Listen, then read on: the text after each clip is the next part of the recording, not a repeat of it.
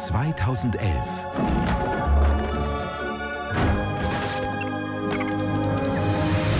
Wird im Franklin Park Zoo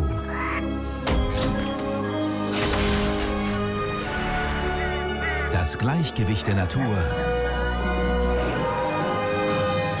erschüttert. Griffin, wir müssen reden.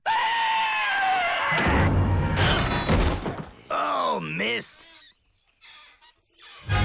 Kevin James, Du erinnerst dich nicht, du erinnerst dich nicht. Ich glaube echt, das funktioniert.